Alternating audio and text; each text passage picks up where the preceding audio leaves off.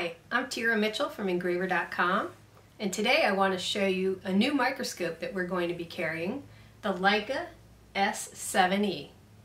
This microscope is made specifically for the US market, so you have to be in the US to get one. But I did want to show it to you and I wanted to show it to you with the line that we carry, including the Leica A60 F and S and also the Leica S9 series which is the I, the E, and the D. Some of the differences between these scopes are in magnification. For the A60 we have 5 to 30. For the S7 we have 6.1 to 45.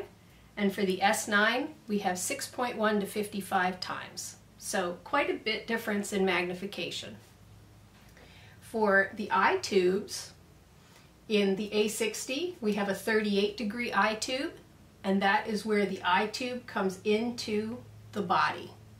For the S7 and for the S9, both of those have eye tubes coming in at 35 degrees. For the eyepieces, the A60 has fixed eyepieces. That means they're permanently attached and come with the scope. The other two here, the S7 and the S9, have interchangeable eyepieces. So you can put different types of eyepieces in there and you have to order them separately. As far as the lenses go and the glass inside the bodies, these two black ones, the A60 and the S7, have achromatic glass. The, A, uh, the S9i has apochromatic. So there is a bit of difference in the internal glass of the scopes. This one has distortion and color correction. That's the absolute best. These are very clear though and beautiful scopes. The objective lenses for all three scopes are a bit different as well. These two, the A60 and the S7, have the same lenses. So if you have lenses for the A60, they would fit on the S7. The S9 has its own series of objective lenses. And that has to do, again, with the different type of glass that's used in the making of that microscope. The way that these microscopes come are in the A60 and the S7, they only come in a binocular model, which is the basic stereo zoom microscope. The S9 has three different versions. You can get a stereo zoom, you can get a Trinoc that has the camera on board, that's called the S9i, and you can get a Trinoc that has a documentation tube so you could put your own camera or devices on it. That one's called the S9D. As far as ordering them, the A60 comes as a package.